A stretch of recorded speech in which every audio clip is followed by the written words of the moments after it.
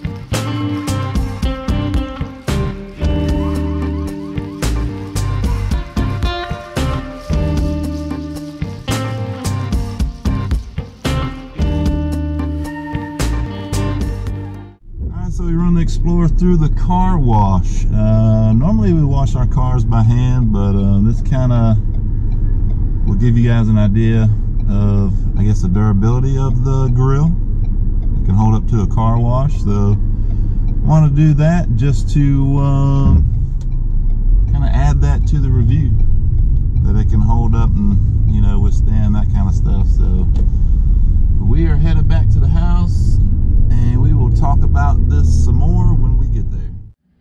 All right, so we made it back to the house, and as expected, the car wash didn't do so great. Nothing beats a hand wash, but is what it is. Wanted to clean it up. So to go back and talk about um, the grill itself, uh, I did order a gloss black grill and did receive the matte black grill.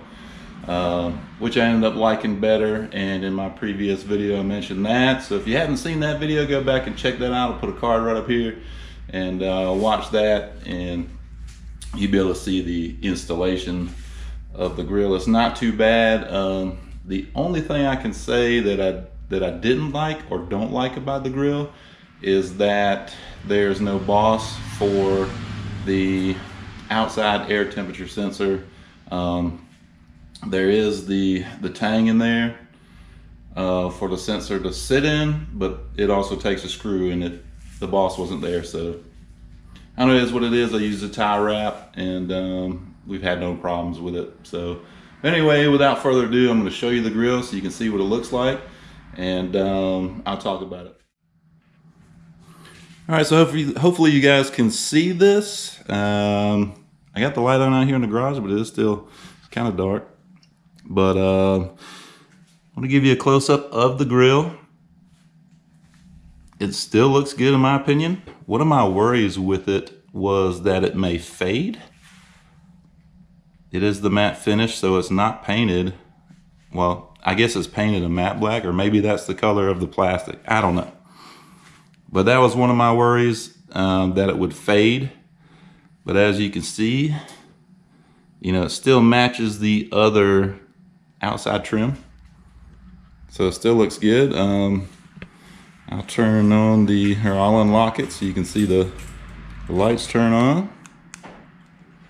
The lights still work. That was kind of another worry. That over time, maybe the, the lights would burn out, the LEDs. But so far, they're still working. Nice and bright like they should be. And no issues with the grill. And like I said earlier, this is six months. Actually, if you go by the date, like the day, today is actually the sixth month point. So I wanted to do this review. I know a lot of you guys had questions about it and uh, just wanted to show you how it's holding up. Uh, in my previous video, believe I put in the description that I paid 125 for it.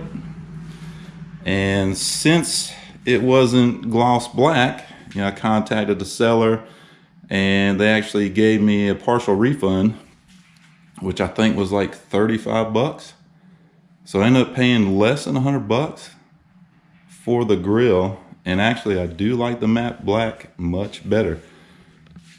As you can see,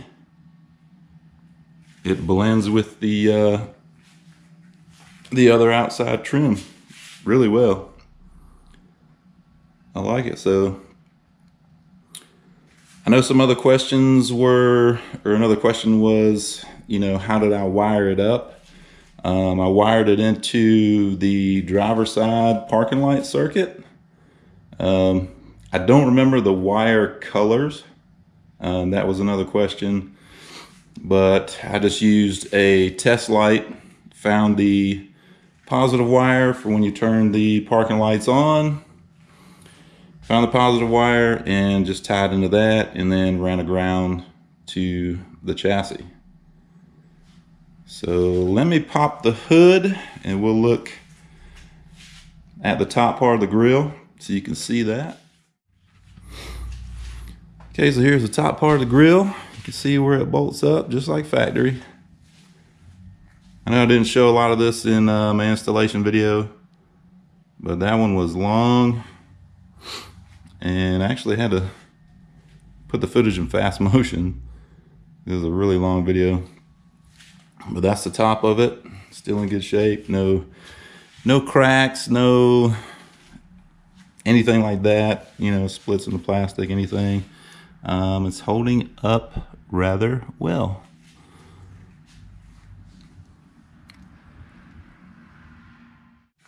well there it is six months and in my opinion still looks great